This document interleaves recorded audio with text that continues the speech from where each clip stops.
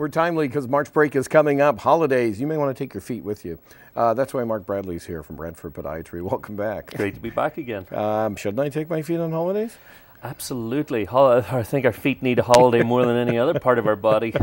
yeah, no kidding. Because think about it. You know, you know, every time you do this to me, I'm thinking. I, I weigh 230 pounds right now. Let's say every time I'm dropping it on the ground. My feet are absorbing what kind of foot? One and a half times your body weight. Yeah, so we're talking about it's brutal. 345. My math is good. Pretty good. It's yeah. quite impressive. So what's the difference with holidays? Well, you know what? I was obviously thinking March break coming up, and I was fortunate enough to sneak off for a week's vacation there recently, and uh, there was a couple of things that struck me. It's like, number one, travel.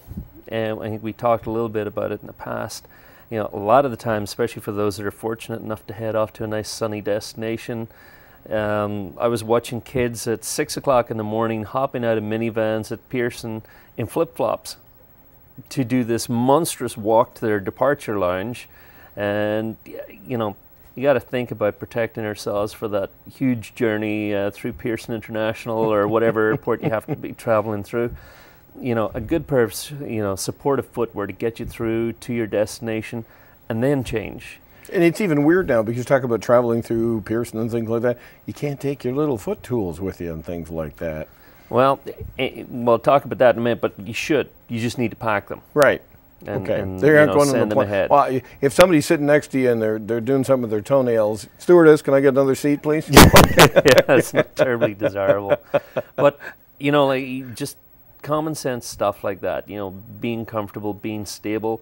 Uh, the number of uh, vacations that are ruined by somebody going and twisting their ankle on their way through the airport, and suddenly your your vacation that you've saved up, you know, six, 12 months for, just went out the window. I appreciate your philanthropy because it sounds like you could make a fortune on people in that week twisting an ankle, wearing uncomfortable footwear, not doing the stuff they that should. That would require me to set up in a nice warm destination, yeah, and then yeah. I wouldn't be here anymore. Yeah, but then, hello, Mark. Uh, listen, I went on holidays, and now I did this to my feet. Yeah. So. Well, I'd, I'd, like to do the consultation bit and actually go there and be there for them.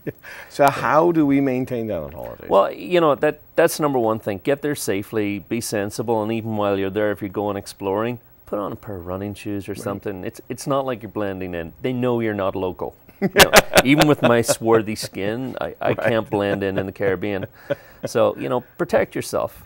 Um, again, anticipate that things can happen and will happen. You know, bring supplies with you. Bring band-aids. Bring some, you know, topical antibiotics with you to protect yourself. We all know about the dangers of sunburn, and some of us more than others but the tops of our feet are incredibly sensitive. They've been wrapped up in shoes for the last four to six months. You're making me smile on my I, honeymoon. The only thing I burnt in Florida was the top of my feet. Oh, thank and God for that. I thought you were going to tell me something no, else. No, no, no, it's okay, it's okay, it's okay. It was an R-rated honeymoon. Um, basically, you know, you're, it's amazing, especially if you're in water, and you think if you're in water, oh, I'm covered. Yeah, you're almost radiating the sun. That that my passion is water sports. So every time I'm in the water, you run the risk of stepping on something, right. puncture wounds. There's, you know, like there's so many sea urchins out there. You know, a word of warning, you know, if you're in the water, keep your feet off the bottom. Right. You know, don't pad around. The likelihood of you stepping on something very unfortunate and very nasty and poisonous in some cases is quite high. So if somebody drops in to see you across from the hospital here in town, it, eh, have you got visuals you can show them on those kind of footwear, the stuff they should be wearing or could be wearing? Yeah, I, as I said though, a lot of it's common sense. You know that. That's Do you know what the, the least common sense thing. is? it's, it's, this show is proving it over four years. Okay. yeah.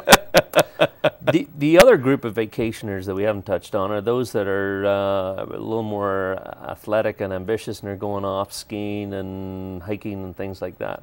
And again, that's a huge change from their normal working or school environment. And it's important to to remember about you know nutrition, hydration. You're increasing your activity levels, making sure that your ski equipment is is properly tuned and not overdo it. The first no, day, we're going to have to easy. get you back one time, as crazy as it sounds, talk about stretching of the feet, because I got a funny feeling that's part of the problem. Enjoy your holiday if you have one coming up. Thanks for coming in today. Absolutely. Thank you again. Dr. Mark Bradley, Brantford Podiatry. We're back in just a little bit. It's Superwoman and the Girl Wonder next, Inside Brant.